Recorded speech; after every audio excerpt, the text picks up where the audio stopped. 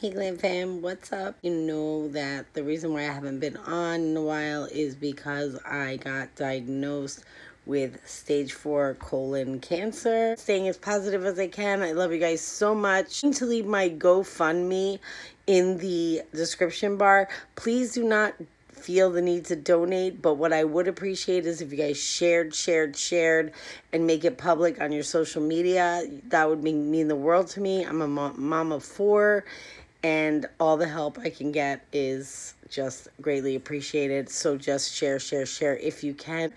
And I am only 40 years old, and you're not supposed to get a colonoscopy until you're 50.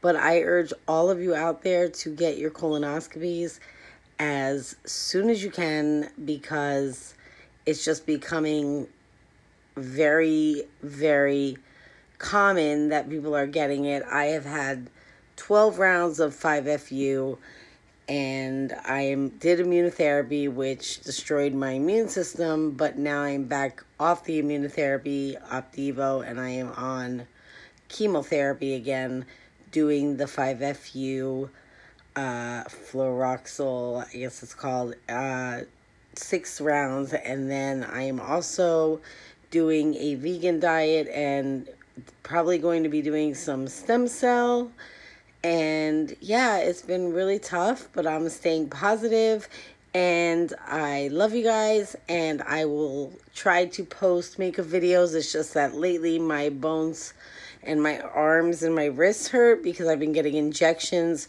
because my white blood cell count has gotten low from the chemotherapy. So I have to get in, uh, injections because I became neutropenic. So my wrists and stuff tend to hurt so the blending but i put a little lipstick on today for you guys and a little bit of contour no eye makeup and some brows. My hair is staying pretty good because the flow, the 5fu is not one of the chemos that you lose a lot of hair you just thin out. So um yeah i'm doing as much as i can. I love you and i'll see you in my next video. All right? Thank you guys. Thank you for taking the time out. I love you guys. Bye.